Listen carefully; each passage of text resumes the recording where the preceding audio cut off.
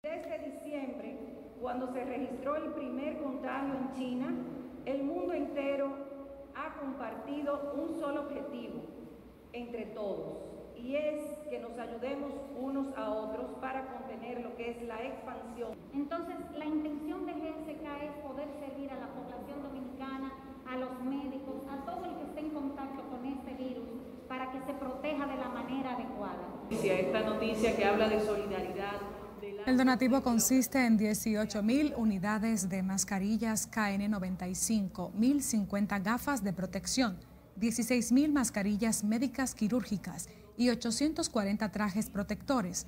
Esta es la segunda donación realizada por la empresa y fue gestionada por el Ministerio de Economía, Planificación y Desarrollo.